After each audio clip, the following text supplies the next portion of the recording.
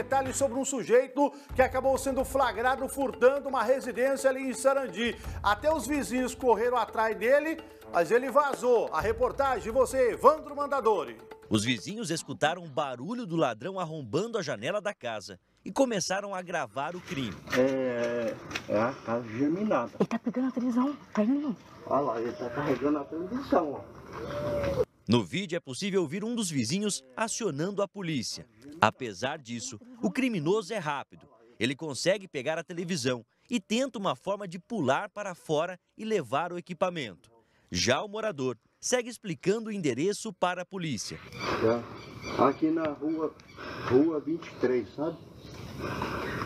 Na tentativa de esconder a televisão, o suspeito cobre o aparelho com a própria roupa. O suspeito era bastante folgado, isso porque ele agiu 10 horas da manhã, em plena luz do dia, e acessou esta residência aqui na Avenida Aurora, no Jardim Novo Independência. Ele pulou o muro, arrebentou aquela janela da residência, pegou a televisão, trouxe até este ponto aqui, pulou do lado de fora da grade novamente e depois, na sequência, trouxe a televisão. Ele ainda encapou a televisão utilizando a blusa, queria tampar ali o equipamento para não chamar a atenção dos moradores. Mas isso não deu certo, porque quando ele desceu aqui, logo depois da Avenida Aurora, alguns populares cercaram ele e perguntaram: de onde você arrumou essa televisão aí? Ele ficou com medo, abandonou o equipamento e logo na sequência fugiu. Então, além dele ter sido flagrado, Outros moradores aqui do lado de baixo da Avenida Aurora ainda evitaram com que o ladrão fugisse, levando o equipamento que pertence à família desta casa aqui. Conversei com um morador que ligou para a polícia. Ele conta que ficou com medo de agir com as próprias mãos.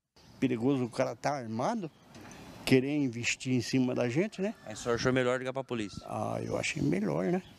Melhor do que ficar aí querendo fazer confusão com o cara.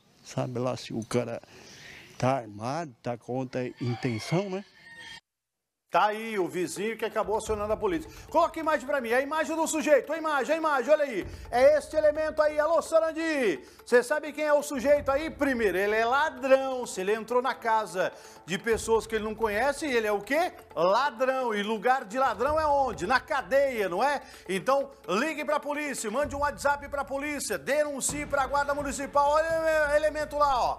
É esse caboclo aí, ó. É esse sujeito aí, ó. A polícia, ele agiu no Jardim Ouro Verde, lá em Sarandi, e agora toda a polícia aguarda, o pessoal tá tentando localizar o menino. Em plena luz do dia, saindo com a televisão lá. Ciclista passando, pessoa passando e a polícia atrás do meliante aí. Vamos aguardar a ação policial. O lugar de ladrão é no Chilindró mesmo, né? Vem comigo que agora eu tenho um recadinho.